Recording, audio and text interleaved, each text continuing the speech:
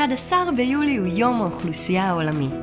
המטרה שלו היא בעיקר לעורר מודעות לגידול באוכלוסיית העולם. אבל מה בכלל צריך לציין את היום הזה?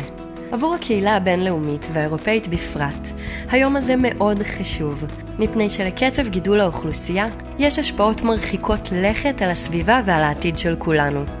ב-2021, אוכלוסיית האיחוד האירופי מנתה 447 מיליון אנשים, שזה 5.7% מכלל האוכלוסייה העולמית. רק שתי מדינות בעולם היו בעלות מספרים גבוהים יותר של אוכלוסייה באותה השנה, סין עם 1.43 מיליארד אנשים, כ-18% מכלל העולם, מיליארד אנשים, והודו עם 1.41 מיליארד אנשים, שזה 17.8% מכלל העולם. הגיל החציוני של אוכלוסיית האיחוד האירופי עומד על 44.1 שנים, עבור המדינות המאוכלסות ביותר בעולם, הגיל החציוני נע בין 20.2 שנים בפקיסטן ועד 37.9 שנים בסין.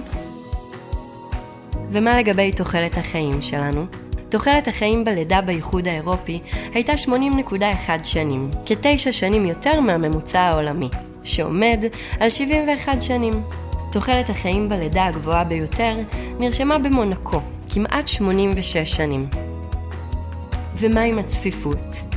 השטח הכולל של האיחוד האירופי הוא 4.2 מיליון קילומטר רבוע, שזה כ-3.1% מכלל השטח בעולם. לשם השוואה, השטח הכולל של כל מדינות העולם מוערך בכ-135 מיליון קילומטר רבוע.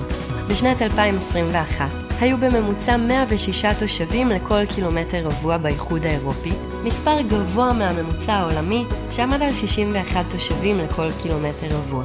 כמעט 70% מאוכלוסיית האיחוד האירופי התגוררו באזור עירוני.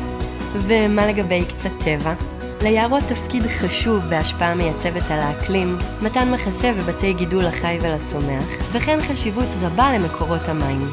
באיחוד האירופי השטח המיוער היה 1.59 מיליון קילומטר רבוע, כמעט 40% משטח האיחוד.